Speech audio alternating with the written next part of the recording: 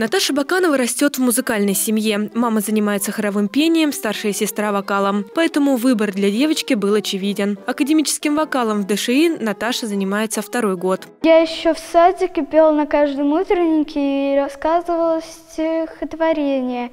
Я, мне понравилось петь, потому что я сама захотела петь, и родители согласились, так как почти вся семья у нас занимается пением. Мне нравится эстрадное, но но в академическом пении надо больше прикладывать усилий и больше показывать голос. За два года девочка успела поучаствовать во многих всероссийских и международных состязаниях. На конкурс Music Mix третьеклассница отправила видео с исполнением чешской народной песни «Мне моя матушка говорила».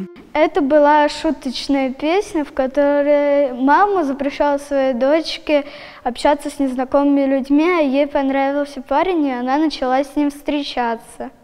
И, и в ней как бы поется то, что вот мне мама моя говорила, а я наоборот сделала. Кроме вокального мастерства, участники также демонстрировали свои теоретические знания. Одним из этапов конкурса стало написание текстов по музыкальной литературе и сольфеджио. От них шли баллы и от пения, поэтому это был достаточно необычный конкурс. Несколько раз перезаписывали, несколько раз меняли фоны, пытались сделать идеальное видео, чтобы отправить его на конкурс, и мы старались просто поучаствовать, даже не думали, что займем какое-то место. По результатам международного конкурса Music Mix Наташа Баканова стала лауреатом второй степени. Благодарственными письмами наградили педагогов юного дарования Дарья Кварта и Ирину Ракову, а также концертмейстера Ольгу Рыжову. Дарья Кузина, Константин Островский, Александр Мальков. Служба новостей Саров 24.